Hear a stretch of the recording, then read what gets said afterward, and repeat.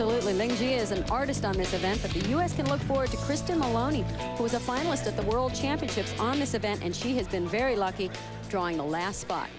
And on the men's rings, Bart 250. We move to Kristen Maloney of the USA.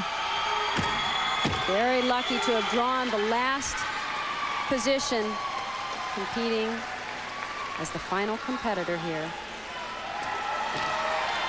From Allentown, Pennsylvania, where she trains with the Parkettes.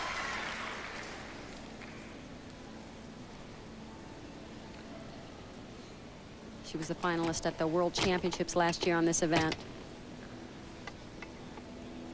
The last champion on the balance beam in the 94 Goodwill Games was American Shannon Miller.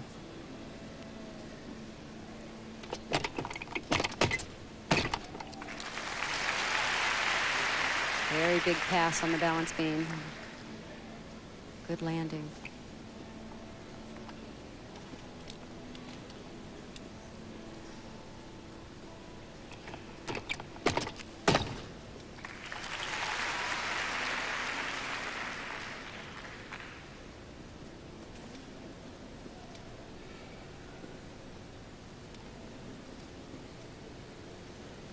So much concentration, so many repetitions in the gym to perfect this event, and particularly to prepare for competition. She's trying to stick the landing right here. Excellent job. She has done her job. That's as well as Kristen can do this routine. No movement on most of the landings throughout. Kristen Maloney, USA. Her favorite color is green, and maybe it'll be green prize money tonight, $2,000 for first.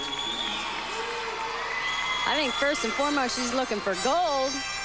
When you go for landings like that, that's what you have in mind. And Kristen, you said coming into this competition you wanted to better your performance. You did have a mistake in your last competition. Obviously that happened tonight. How does this build your confidence for the future?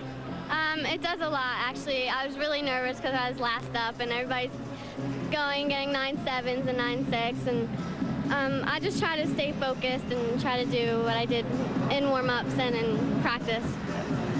Congratulations to both of you. Thank you.